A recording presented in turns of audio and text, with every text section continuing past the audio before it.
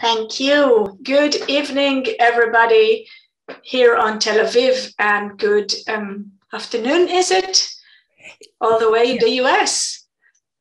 I'm here only to present the wonderful Gili Bar Hillel and Delia Sherman. Delia is uh, our special guest tonight. She's a wonderful author whom um, I only had the time to read two books and I loved both of them. So I can say with conviction uh, that she's a wonderful author. And Gili Bar Hillel, whom we all know here in our little community, is uh, both the publisher behind Utz Publishing House that many of our kids grow grow on, and the translator of Harry Potter, which many of us grown-ups have had have had sorry english not my first language or second have grown upon on never mind Gili, you will correct me. and i will uh, now clear the stage for Gili to have the talk with delia. And i hope you have a lovely evening. Happy icon thank you nomi hi delia.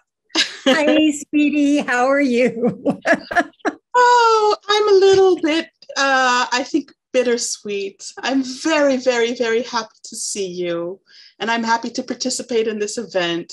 Uh, but I'm a little bit sad that it's not an in person event and that it's been such a long time since we've been able to meet in person. Um, and I think the last time we met in person was in Dublin. Yes. Yes. The, the Worldcon in Dublin in August. So that was two years ago. Yeah, and yeah. then b- before that in Tel Aviv when you were here at Icon. So uh, I was counting in my head how many different cities I've met Delia and her wife Ellen in, starting with our very first meeting in San Francisco and in Tel Aviv and in Dublin and in New York and in Paris and in Helsinki. Uh, I, I reached England. In England. Yeah, uh, Newcastle um, Newcastle. Well, we we started in Bristol, and then we went. We had the dinner in Newcastle. I didn't even count Newcastle, but that's true. so it's it's a very international uh, friendship. Uh, I think that uh, Delia and Ellen travel a lot, and possibly I also travel a lot, but I think of them as being travelers and me just happening to sometimes meet them. Uh, so where are we finding you right now? Where are you now? I'm in Newcastle, Maine. Maine.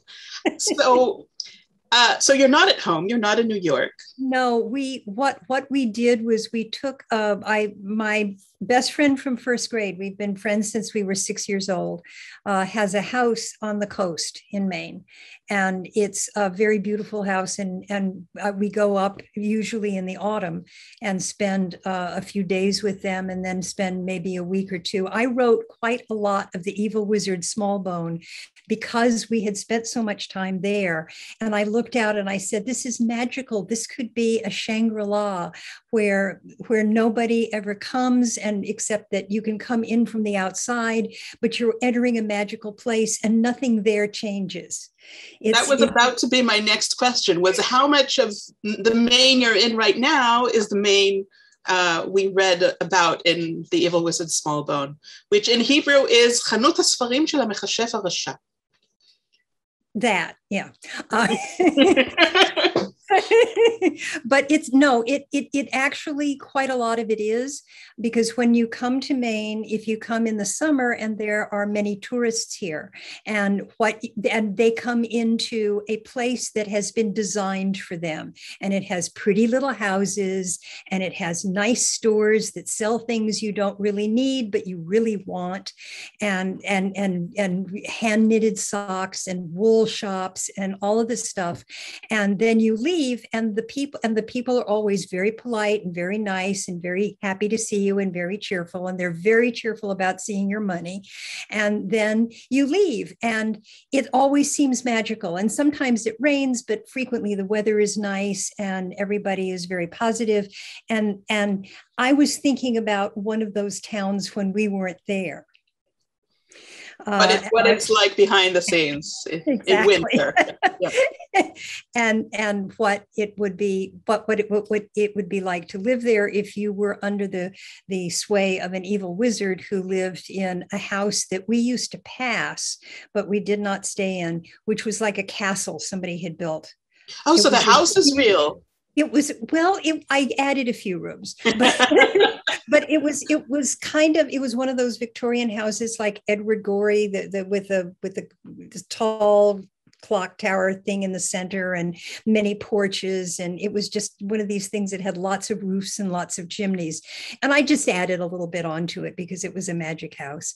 And um, and i gave our, i gave them our view uh, that I see when I'm in the bedroom that that we stay in when we're there, and um, and and the woods look very much like the woods, but he has no neighbors, um, and my friend has neighbors, uh, so it it was physically very much where I was staying. And I was very interested in Maine has a very different, it has a culture of its own it has ways of speaking of its own. It has an accent of its own, although many of the older people, only the older people use it pretty much. You don't hear that many young people who speak that way anymore. Um, but there's a there's a fair where you go and you you see the and there are many people who have farms they raise goats they raise lots of goats they raise cows they raise uh, pigs um, they have some characters in the book as well. Yes. Yeah. And, and I can uh, testify that Yael Achmon really attempted to recreate the sort of the special sort of dialect that you were giving the characters. It's hard to do in translation, but she gave it she gave it a shot. She absolutely tried. That's wonderful. I'm so glad because it's so colorful. it's it's really hard to do, but you know, but give a little bit of flavor and quaintness to the expressions and and make them a little out of the ordinary in a particular direction. Um, that's the best we can do in translation sometimes the the thing that I had the most fun when I was writing that book was he this he because he's an evil wizard. It says so on his business card. Of course. Um, that he that that he he says uh, he he likes to to to make threats um, to his the the hero of the book who is uh, who was 12 he's he's quite young. And he keeps saying things like i'll turn you into a slug and and and salt you. I'll turn you into bread and toast you. You know and, and it's just all of these things and it was so much fun to make them up yeah I, I can imagine that sometimes the character sort of takes you over and tells you you need to you need to give me some more opportunities to stick in these colorful expressions oh well he yeah he was pretty crabby so I, I guess for you know for Israelis in Israel, Maine is just as exotic as Paris or as London. I mean, we can we can see it in nature programs, we can read about it in books, but we don't open the book and say, "Oh, I was here last week, and this is a place that I know." Um, whereas in in some of your books, I just uh, uh, prepared for the session by, by reading uh, Changeling, which I hadn't read before, which I'm sorry I hadn't read before because I loved it. And Changeling is a love song to Manhattan. It's all about the city of New York and the, you know, the, the different uh, characters of the different neighborhoods. So um, so I was wondering, I mean, I, how much is location? What what comes first? Do you think of a story first and then decide where to put it, or does the story sort of grow out of the location? It always starts. I mean, oddly enough, people say I start with a character, I start with this, I start with an idea. I I do start with a location, and and the location of wherever I have written about. I wrote. I wrote uh, Changeling because I was living in Massachusetts. I had been living in Massachusetts for 30 years and I never felt home, at home there. And I was so homesick for New York. Um, and I, so I just started thinking about all of the things that the, the books there are written about New York, the places that I grew up in. And because it was a magic New York I was writing about, I'm writing about the, I, what the, the central idea of of the book is that there is a New York that I walk around in. And then there is a New York that is between that and the rest of the universes in the world and called New York Between. And it's where you're not looking at the time. It's it's fairy New York. And that's where all of the folklore that all of the immigrants from all of the countries that are that that where, where people have come to New York and come live there their folklore has come to live there too. And that's where it lives. And even though um, they're they're immortal beings and they're they've always been they, they've been there ever since the, the immigrants came they have new york has changed them just as New York changes everybody who lives there. And that's what it was about. So I had um, a lot of Russian folklore in it because there's a very, especially where I live, um, which I had her living in Central Park, but I live right next to the river. There, there, it was originally settled by a lot of Russian uh, Jewish immigrants. Uh, so there's, there's some, there's characters from that. Um, and then I used some of the, the the characters from books that people have written about New York. Eloise, um, I, Eloise. and I love that you that you uh, put them at the same level of you know folklore and authored characters, and even things like just kind of urban legends um, and Broadway legends, and they're all fodder. They're all grist for the mill well they're they're all part of what makes new york new york and they're all part of what people know in their hearts is true. And that's what folklore is. You know you it, it has nothing to do with your head. It it it's it's what you feel is true.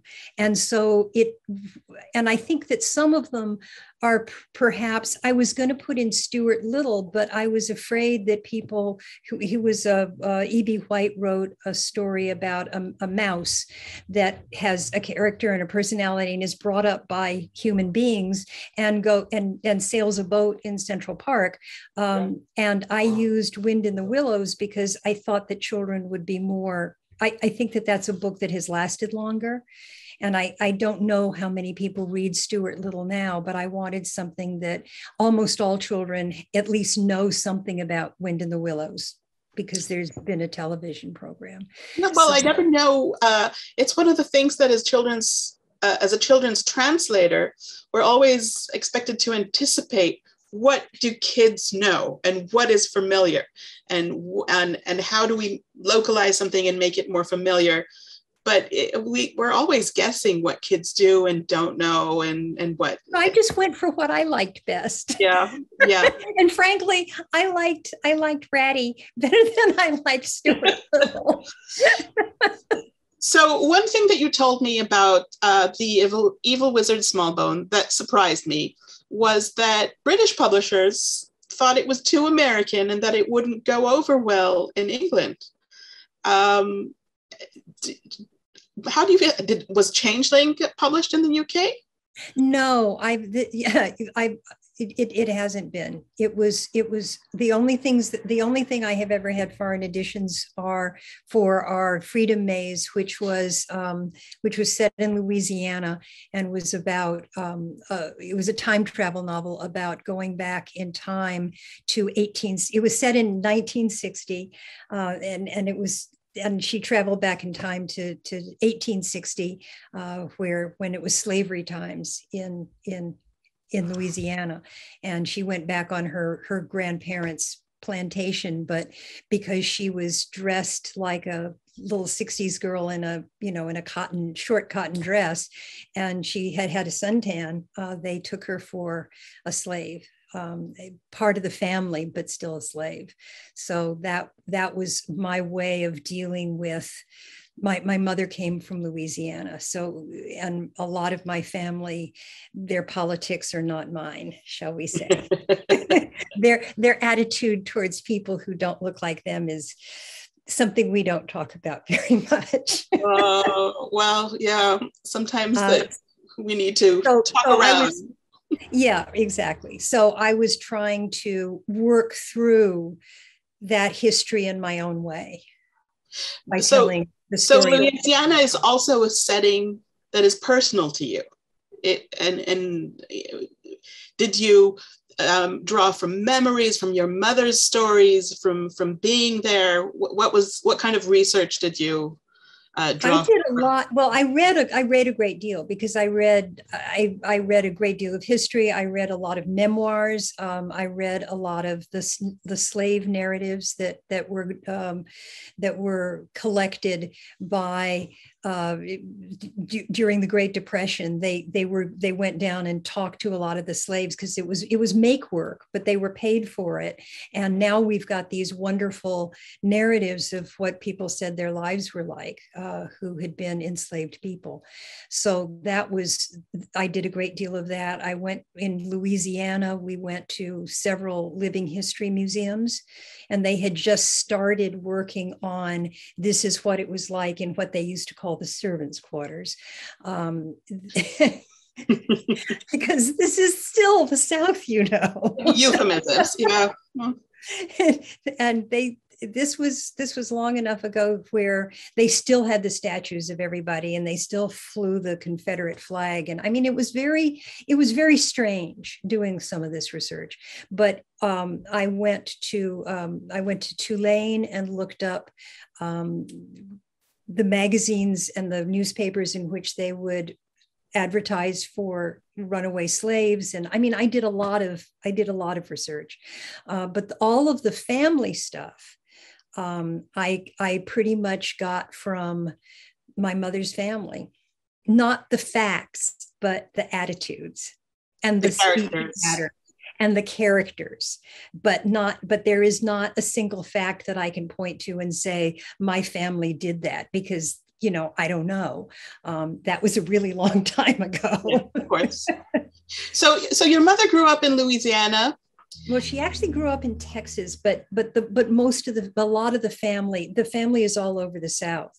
Um, and and a lot of most of the family that was still alive and was had settled in part different parts of Louisiana. So I used to go down and spend my sometimes uh, Easter vacation or just when I had a little time off from school, um, it, we my mother would take me down to visit my cousins in in in um, in Sulphur, Louisiana. but so so she's from Louisiana and grew up in Texas, and you mostly grew up in New York, I understand. Uh, but you were born in Tokyo. How did that happen? Well, there was this thing called the Korean War. Did they play MASH at it was MASH on television? It may have been. Uh, I don't even remember. Well, I think we know MASH not as well as Americans do. It's not our trauma. Well, because uh, the usual thing that I say is that my my my mother was Hot Lips and my father was Hawkeye. Um, I, am I'm, I'm the daughter. I, I was adopted, um, and I am the daughter of an of, of an army nurse and um, a doctor. And I now have found my mother's family, but I have no way of finding my father's. You mean your biological mother's family? Yeah. Oh, really? Is this recent? It was in the past few years. It was ever since two, three, and me when you spit into a test tube and they discover your DNA. Right. And I found a first cousin and I talked to her and she said, Well, yes, and I am the only person that your mother ever said, ever told me that she had a child. Um, oh my goodness. That, you know, that's, there's a story right there. I know, I know, I've heard so many stories of people who discovered family secrets and maybe things that they weren't that happy to uncover. But sometimes there are happier meetings, I guess, and you can expand well, your family. Yeah. My cousin is delightful. None of the other rest of the family wants to talk to me, and that's okay um, because they sound as if they might be a little bit well as as my cousin said they are they are people of a very decided personality i so again I'm, the, the theme that i'm coming back to is location and and how it affects your writing. And i know that you like going on retreats to write. And by you i mean not just you but ellen as well. And and the two of you had your uh, regular locations that you would visit uh, in what is it in New England and New Mexico as well? Am I right? Or uh, Arizona? Arizona, right? We and go in, where we know people. Yeah. And in Paris, you had this amazing year in Paris as well. How did that come about? I have always wanted to spend a year abroad. I have always wanted to spend an entire 12 months being elsewhere. And and I really we we both love Paris. Ellen's has Ellen spent a year in Paris with her parents. Her father had a job there for one year when Ellen was 7. So she speaks very fluent French. Um, it's her vocabulary is that of a of a a, a, child, but her accent is perfect. so everybody who talks, all the French people who talk to her, are like, where do you come from? And are you quite all right? um, but it's really it, it, we both really love it and we had been to science fiction conventions there we both have had books translated into french and so we had uh, ties and friendships in the science fiction community in, in in france and so when we got there we had a community to be part of and we had friends. So we weren't we weren't um, stuck with the american community. We weren't isolated. And we rented an apartment and we lived there for um, uh, we, we, we lived there for a year. And we traveled around a little bit in france and we went various places but mostly we were in paris. Uh, and i had been writing a book about the franco-prussian war and um, they that and so I, I decided I, and I put it away because it was too hard to write. It's not a children's book. Um, and it, there's a lot of research involved. And so I thought, well, you're going to be in Paris for a year. You might as well work on this book. So um, I'm I'm getting to the last section now. and you also had uh, a, you went to a ball at Versailles, didn't you? You attended a proper 18th century? What is there is there a is it defined the time period for the ball? It has to be sometime during the monarchy. So and it's supposed to be so, so i a friend of ours in in um, in in Chagford in England, in a small town in England, and we have gone there for a writing retreat too, um, in in a in a cottage uh, has her mother-in-law is a costumer, a theatrical costumer, and she has an entire attic full of costumes. So she brought down all of these costumes, and we got and she dressed us up.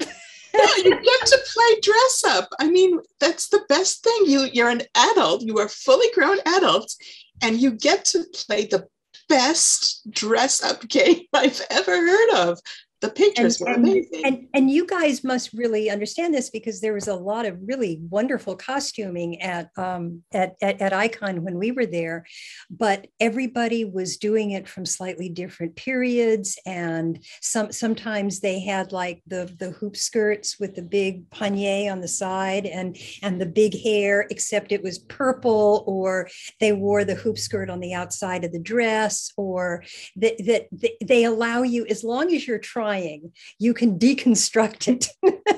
but I think there were, also, there were also people who had spent all year making their costumes. Amazing. That part part of the thing for them was to sew an entire historically accurate costume, including the underwear, by hand. I think there are different approaches to cosplay, and there are the what those who go for authenticity, and are, I our representative that I think of, uh, who often speaks at ICON about uh, period, period costumes, is also the translator Inbal Sagivnak who you met.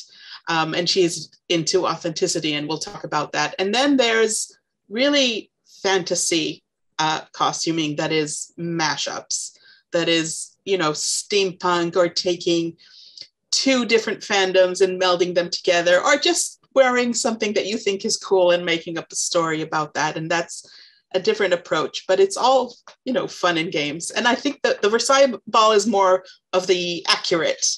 Uh, it was it? it depended on who it was the, the the the people who were the most fantastical were the japanese there were a lot of japanese there oh. that were because they love the 18th century and they love being they they they, they love getting dressed up. Um, and and there was a, a woman with her little boy he must have been 10 or 11 and she had him dressed perfectly too and they and she was and she was showing him a dance because there was music everywhere. And she, and they were doing a mm. dance at the end of the hall just just as if they were alone in the building. And and i just was absolutely enchanted by this. And the, and also so and she was perfect. I mean she could have just stepped out of the picture. If you if if if there had, if they had been japanese in the 18th century she would have been it. And then n- nearby was this young Japanese man who was, you know, very, very handsome, wearing this fantastical costume that was in some ways very accurate, in some ways was a fever dream. and, and they were both enchanting, you know. Oh, I should write a story about that. You should. You should. That's that. That's my next thing. Is so. When are you writing about this and and and about fantastical Paris? I mean, I know that you've set already. Uh, the Porcelain Dove is set in France, and you said you're working on another novel that's also for adults that's set in France. It's not fantastic at all. It's it's it's a historical novel. It's about um, it. It's it's about what it's about the people history happened to. It's mm. about the ordinary people who have to put up with the political decisions that the big guys have made.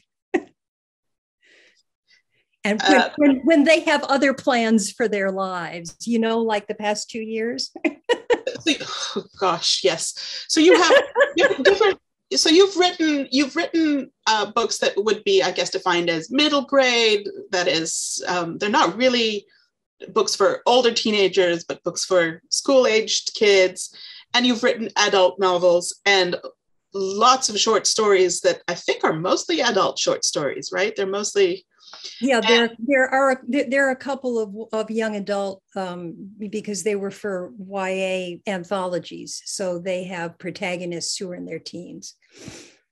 And then you also write in these collaborative world, worlds like Tremontaine and and the book you wrote with uh, with Ellen and uh, and uh, do you do you do you think yourself I mean this is something that I think of you too as being sort of mentors who are growing another generation of writers. Do you see yourself in that position as well? Well i i absolutely do partly because i'm a teacher um, I, I, before I started writing, I was a teacher and I taught, I taught writing. I taught freshman composition. I taught expository prose. Heaven help us all. Uh, but I discovered that I much preferred to teach people who really wanted to be in my class. Um, and when you're teaching creative writing, mostly they do want to be there uh, and they're really interested and they want to do the work uh, and it's been it's been lovely. I've I've taught in, in a number of different, mostly workshops, not full time, um, and it and it's and it's great because you you're it's a very intense experience for a limited amount of time. And then you know you go your separate ways but you've made friends. So you get people who write you years later. You get people who put you in the acknowledgments of their books when you don't even remember remember having that conversation. Mm-hmm. um, and i just watching these young people and some people who aren't so young but are young as writers um, learning how to create their craft and how to which rules can be broken how they can modify things how they can make something that is old new again in their in their hands is just i mean it's glorious. It's it's wonderful. What do you enjoy more writing or watching other people develop their writing it's not it's there I, I i really like apples and i well i'm not that fond of oranges but lemons i'm I, I, completely down with lemons. Um, you know it's they, they they give you very different joys and you they they allow you a balance because when you're writing it's you and the page. I mean yes there is an implied reader but basically you're creating something out of it's very internal you're the only one who even even if you talk to somebody about it this is not a performance. Um, and and at, at heart teaching is a performance. And so it's it's it's that that give and take and when you're and, and it's an improvisation. No matter even if you know your lines if the, the the joy of teaching is that a student can say something and you can go yeah you're right let's talk about that. And it's something you haven't thought of before. That's lovely. That's absolutely so so for for me teaching is a is a collaboration and it's very it's very externally motivated. It's it's it's it's it's extra.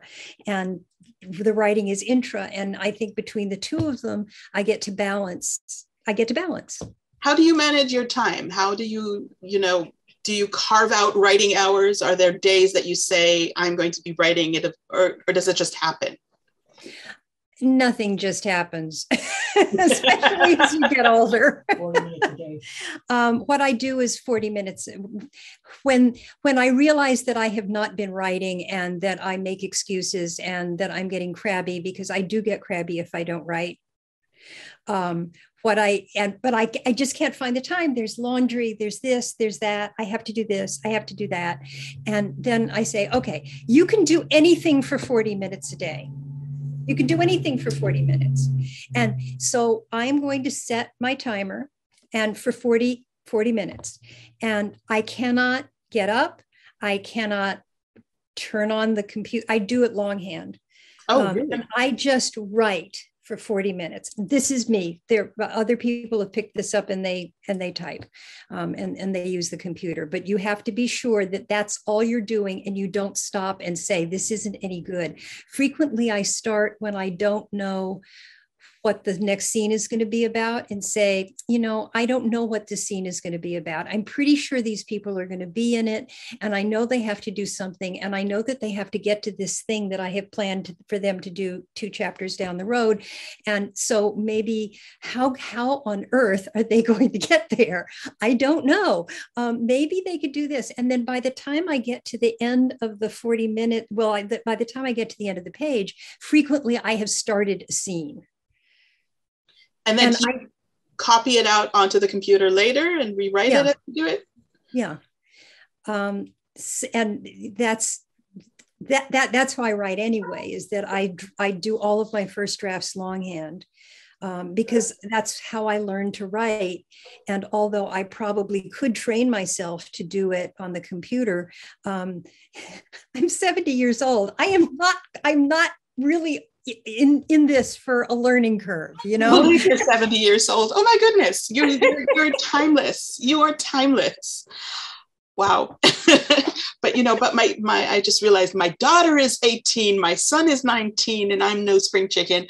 So i guess it's possible but you don't you absolutely don't feel 70 in your, in your spirit you know uh, so what are you writing right now right this minute i'm still writing the the the the the endless french novel yeah. Um, and that's all i'm it's it's it's a huge it, it's it's a long book let's put it that way. What you described sounds you know it sounds like it's kind of rough and and that people you know and that there might be tragedy involved. Does that ever get you down? Do you do you feel that like you need to take some time off to disconnect from it or? Well yes and no. I mean you get tired. I've been working on this book now for several for a number of years and you've got to you, you've got to do everything other things from time to time anyway. But eh, one of the things is that it has been borne in upon me you know living a certain amount of time through certain things that there's always funny things happen even in, tar- in horrible times.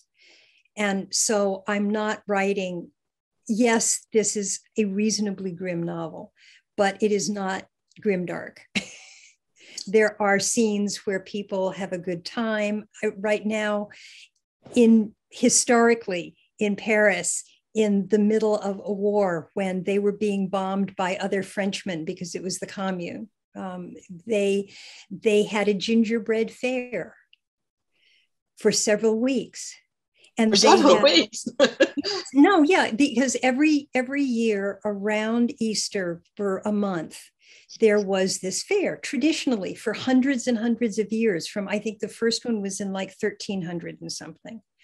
And it was always more or less in the same place. And there were circuses, there were dance troupes, there were bands, there was, and there was, and there were, you know, those stamped gingerbread, the, the, not, not the fluffy cakey stuff, but the but the flat gingerbread, they would stamp it out in different shapes. And the traditional one from that part of France was the pig. So you you got little gingerbread pigs, and you would buy gingerbread pigs, and they cost practically nothing. And it was in a poorer part of town, and the richer people would come there to sort of uh, slum you know to to to see how the other the other half lived and to have a good time and not have to be ladies and gentlemen.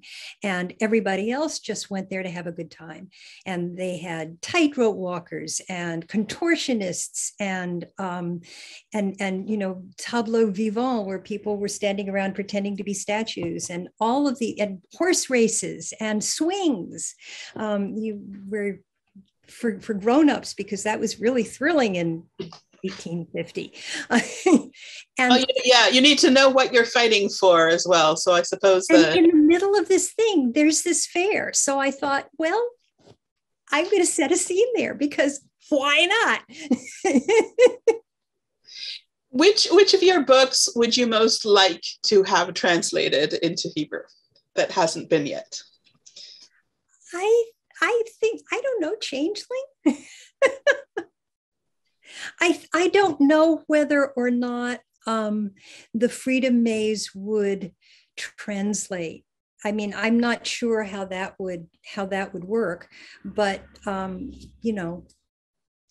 Yeah, these things again. Um, as translator for children, we're always trying to second guess. We're always trying to to think, how will kids understand this? Um, and uh, and but again, Manhattan is just as exotic as slavery, Louisiana. Possibly kids have visited Manhattan, but a lot of the people that we're translating for haven't. And yes, but they've seen TV. They've That's seen true. TV. And and so much of, of television that leaves America is set in, in New York but the question is maybe then it's important to show these uh, parts of history that we aren't as proud of and that are a bit painful. Um, and maybe we should be seeking out these eras. There's an Israeli author.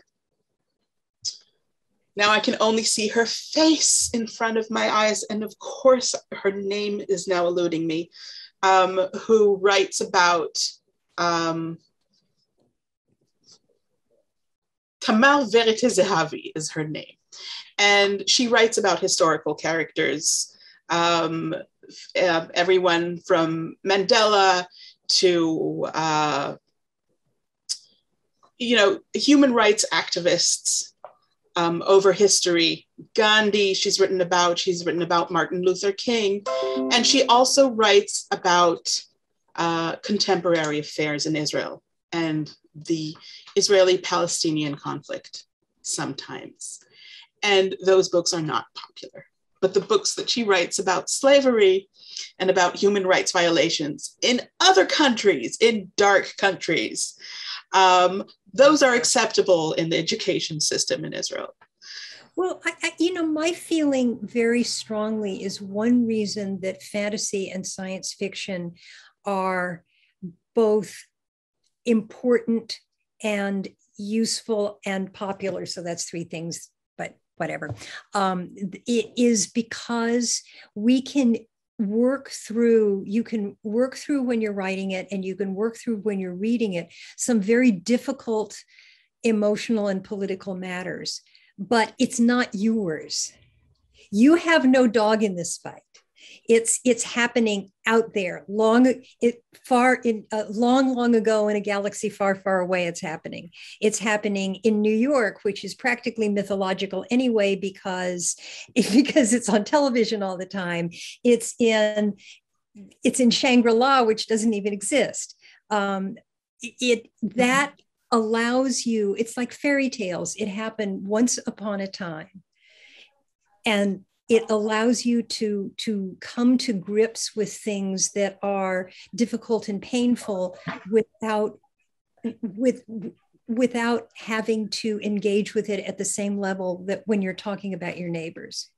Without having to become defensive without coming into it with baggage and with preconceptions and oh i'm being manipulated here because it's it's all abstract yeah i've lost you so we have how much how much time do we have still sorry five more minutes and you have Five questions minutes. from the others um, how do I see the questions from others? I'm happy to share with you. There was essentially a question about if there are going to be more books translated from Delia. We'll see. We will see. We will see. Uh, Delia, I really hope so. will you will you be writing more about um, Smallbone and that? I'm not really very much for sequels. I I I found I tried to write a, a, a, series with the New York Between books, and I wrote the second one. And when I wrote the third one and sent it to the publisher, I didn't finish the third one. I had a proposal, and um, because the in in the first book, the the the heroine whose name is Neef has to um, has to have perform three tasks, and two of those tasks clearly have repercussions that could happen along the line. And so, what I wanted to do is a trilogy, and I wrote the first when she was she had stolen a mirror from the from from from the mermaid queen. And um so she but anyway that, that didn't do very well. So well, i sent in the, the the proposal for the second one and they said they they i don't think they even read it but they they turned it the down. third one. Yeah. Yeah. oh, okay. Another question? Gadi or someone more no questions at this time, but thank you. No questions at this time. So yeah, so uh, I really enjoyed the, the, the changeling world, and I'm I was just wondering if it's too New York, if it's something. Uh, that's the question I've been asking again and again. Is is this is the fact that this location is unfamiliar an advantage or a disadvantage? Is it something that will keep kids from really getting all the inside jokes because there are a lot of inside jokes about the Dow Jones falling. And uh, I love those, by the way. Um, or, or is that, you know, just another type of fantasy land that is New York fantasy land? Well, I think that the number of people who understand that um, I have taken the uh, producer of Broadway um, at, and to to a um, uh, a Damon Runyon character. Nobody knows that. There's not a child alive who knows that. Who you know maybe one that we brought up would have, but um, but it doesn't matter because he's a great character. Yeah. And so. a lot of those inside jokes, um, you don't it doesn't matter because I try. I, I, mean, I may not have succeeded, but what I was trying to do was to milk them for what they actually were rather than what you knew about them. Yeah. Yeah. Anyway, I enjoyed it tremendously. Um, and and I enjoy you tremendously, and I'm very very glad I got this opportunity to meet with you virtually, if not in person, in in two years. That's such a long time. it was, and thank you so much for asking me, and thank you so much for uh, for talking to me because it made it very easy to talk to somebody I knew, and um, I, I had a lovely time, and I and I I wish that I if, if whoever's out there, I wish that I could see each and every one of you because one of the things that I love about doing this kind of thing is to is to see the faces and to make connections and maybe talk afterwards. And I can't do that this time. I'm so sorry. So, but so next, so next year, please come to Tel Aviv. Next year, you know, uh, we'll we'll we'll take care of COVID and we'll we'll make sure to clean it up.